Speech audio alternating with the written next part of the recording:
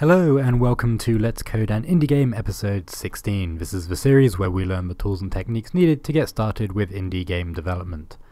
In this episode we are going to continue working on the movement for our slimes and we may add a couple of new tiles to our game as well, just so that we continue to uh, you know, update and add to the art as we go along, because we don't want to leave it, um, leave it till the end and then have to do everything at once.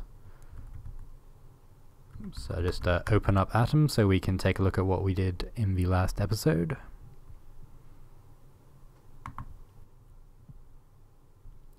Cool, okay, so last episode we added um, bounce after player as a uh, as a piece of movement code and this really just combines two of our previous um, two of the previous movement strategies we had. One for following the player and one for bouncing and if we add them together um, we have some slimes which bounce after our player.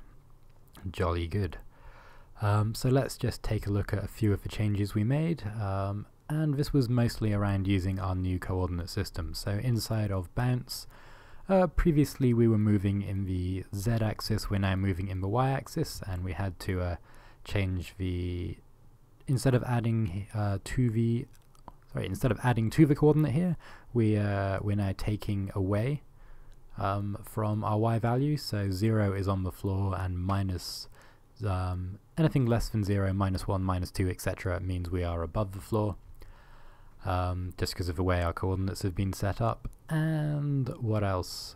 What else is worth looking at? Is, so in follow player, we um, we switched to using x and z, um, and this is also in all of our vector code as well. We now um, get the distance between things in the XZ plane, which is basically the floor of our game. And uh, all of this is because inside of our vector.lua class, we translate between our world coordinates and our screen coordinates um, using these of uh, this equation here. Um, and this is a what is this? This is um, an oblique projection, which means everything is um, kind of, a, or it's a cabinet projection actually, which means everything is at 45 degrees. Um, and yes, so well, not everything, but our forwards and backwards um, angle is at 45 degrees. Left and right is um, is square with the screen, and up and down, or yeah, up and down in the y direction is square with the screen. Now, a couple of people um, don't basically don't like this or don't think it's very playable um, as a as a movement system, and that's fine. It's really easy to change, and this isn't our final. Um, yeah, this isn't our final coordinate system. The what we're trying to do at the moment is just put enough code together that we can test it, look at it, and if we decide we don't like it, we can change it. And probably the easiest change we can make here is if we change our angle from 45 degrees to 90 degrees, then we are back, if I just run the game again, we're back with something very similar to our original movement. Um, where we no longer move at an angle, we move up and down, left and right, but we still have the advantage of being able to uh, being able to bounce as well. And really, when we uh, set theta to 90 degrees, what happens is um, math.cos of 90 is 0, or cos of 90 is 0. Uh, so z times 0 is 0, so x is just equal to x. So our um, x in our game world is just equal to x on our screen, and um, sine of 90 is 1, uh, and z times 1 is z. So our y value just becomes, or our y screen value just becomes our world y value plus our world z value. So if you aren't a fan of movement system, and it's totally fine not to be, this is uh, your game, um, just you can fiddle with this value here, or you know you can use whichever style of projection you want. So I'll keep it at 45 for now, but we'll probably come back and revisit this in a later episode. Right. So what shall we do this episode? Let's um, start by updating follow player so that our slimes um, cannot walk over walls. So very similar to what we did in our keyboard movement method um, a couple of episodes ago. We need to now store the differences um, in position uh, every update rather than just going ahead and updating those positions. So let's pull out a dx and a dz variable uh, to store those differences. And we also, we know we'll need our, um, our current room and we can get this from game.map current room like so. So down here in our movement code we can store the change we will make in the x direction as dx and the change we will make in the z direction as dz and that change is just equal to our unit vector and that just gives us the uh, that basically just gives us where we need to move in order to move towards our player um, times our speed times game.dt and dt is just the time uh, the time since the last update and we just use this to average out our movement speed uh, so it's all nice and smooth Cool, so we've got dx and dz. This lets us say that our new x position for our entity will be equal to our current x position plus our change in x. Our new z position will be equal to our entity's current z position plus our change in z. And now we can get our screen position and this will be equal to um, vector dot world to screen. It's important that we uh, use the dot here actually. A couple of times I get, um, I'm so used to dealing with classes at the moment that um, I use the colon, but we, we need to use the dot because vector is a module. So it doesn't have a class, we're just accessing uh, methods directly on the vector module. World to screen, um, and this takes a vector as an argument. So let's just um, say x is equal to new x y is equal to 0 so this is important actually when we because our slimes bounce up and down um, we only want to check whether we basically want to check the position they are standing in or they start their bounce from and that will always be y equals 0 and uh, z is equal to new z.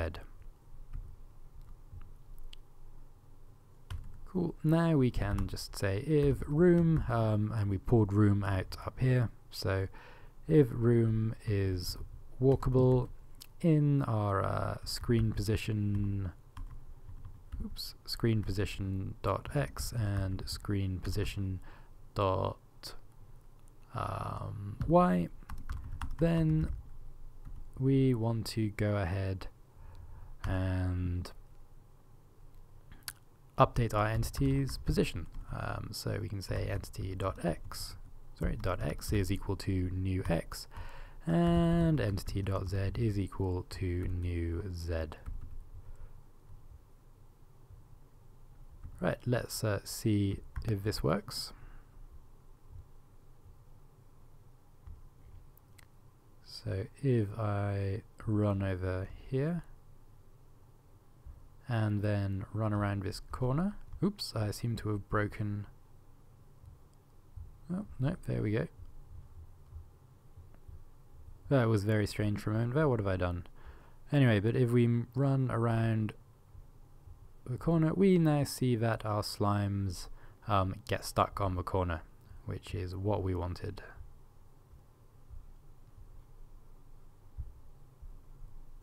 Let's just uh, save this and run again just to see if that uh, happens again.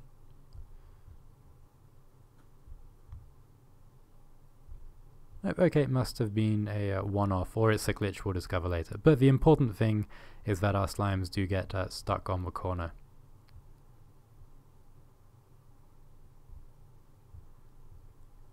Cool. So if we take a look at our um, keyboard movement um, code as well, we can start to see quite a lot of similarities if we move to the bottom here. We basically do the same thing uh, twice. So this is probably a sign that eventually we want to pull this code out into a common uh, into a common function or something which always does uh, does these uh, these checks. So it gets the new x and the new z value, it gets the screen position for them, um, and it works out uh, whether that's a sorry, uh, whether that's a valid position. Um,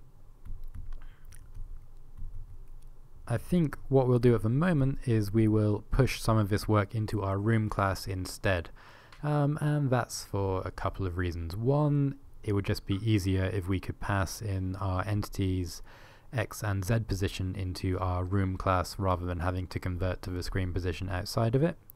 Uh, and two, I there's a there's a very simple rule which is one to refactor. So if you write a piece of code once, um, you write that piece of code. If you write it twice, you start to think, you know, hmm, maybe this should be its own class or its own function. And if you write a piece of code, or if you write the same code three times, then that then that's when you actually go ahead and pull it out into a shared or a common piece of code. Because once you've done something three times, you probably understand it. The first two times, you're still learning, or at least I'm still learning. Um, I'm I'm always uh, forgetting or learning.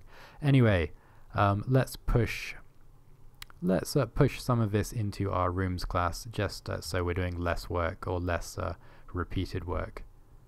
So inside of room uh, walkable, let's actually change this so we pass in an x and a z value instead. Let's um, grab our vector class or our vector module, vec source math vector, and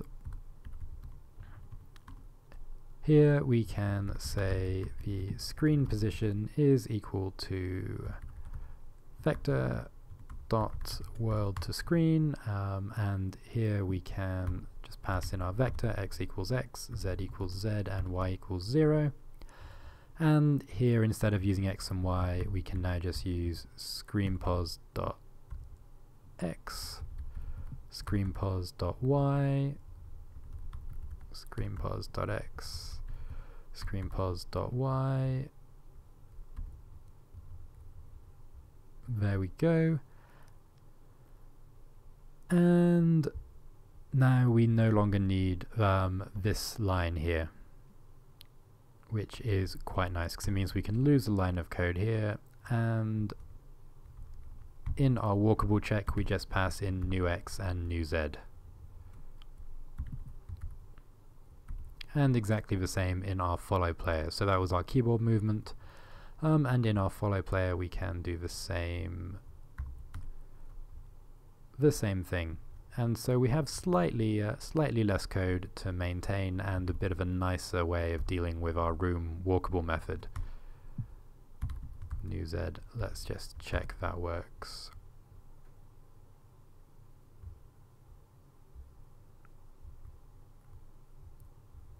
Cool. Very good. Okay, so we've got a few minutes left in the episode. I'm trying to keep the length to about uh, between 20 minutes and half an hour um, for each episode. Uh, so let's add in a few more tiles. Um, so let's just open up open up GIMP let it load for a second and open up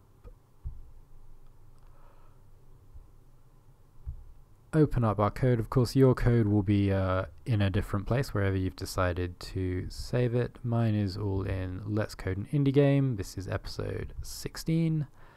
Um, assets, sprites, tiles, dungeon.png. And let's just uh, set up um, set up GIMP for tile art again. So we'll go into image, uh, configure grid, and make sure our grid is 8 by 8 Hit OK, go into view and um, show grid. And also on our pencil tool, let's um, change the brush to the pixel brush and change the size of that brush to one pixel. There we go. And just a reminder, you can hit the O button to bring up the color picker. That's probably an idea to tick sample merge now um, as well, just uh, in case we end up dealing with any layers later on. Um, sample merge will just take the color from the screen rather than the current layer. Um, cool. So let's add let's add um, a pit to our game um, or a ledge. Uh, and we'll just treat that as another sort of non-walkable tile at the moment. So we'll start by just adding in another floor tile. Let's just put it down here.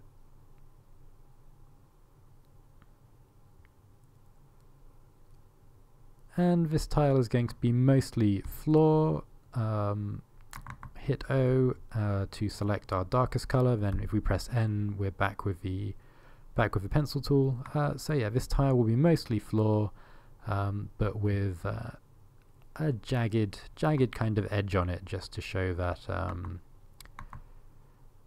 you know it is it is a ledge. It's the the edge of something. So this uh, this dark color really represents um, shadow in our in our game. Um, I'm probably actually going to. I don't like having too much, uh, too many sort of blocks of color in one place because it just looks like uh, the the line just looks a bit thick, looks a bit strange. Uh, so I'm just getting changing this pixel back to being a floor tile here. Um, okay, and now let's grab our wall tile color.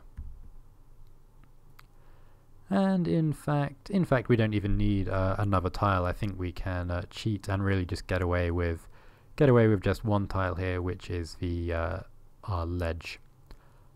So let's um, overwrite dungeon.png.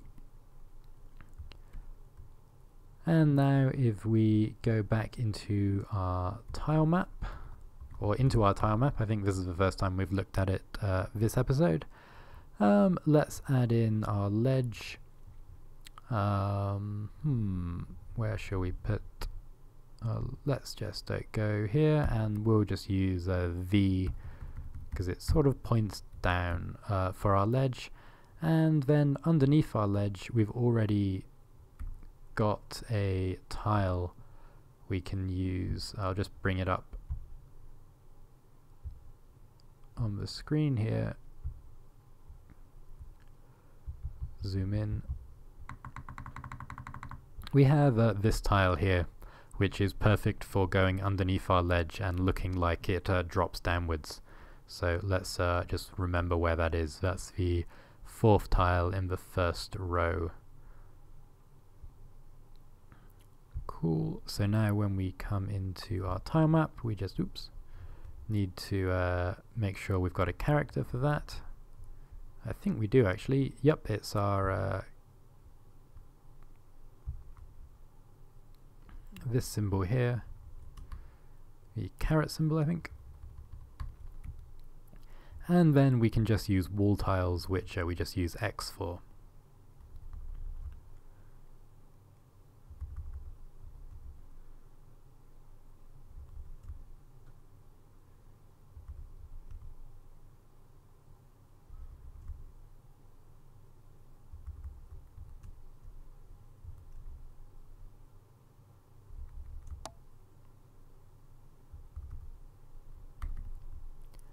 And we just need to make sure we have a, um, a line in here to draw our tile code.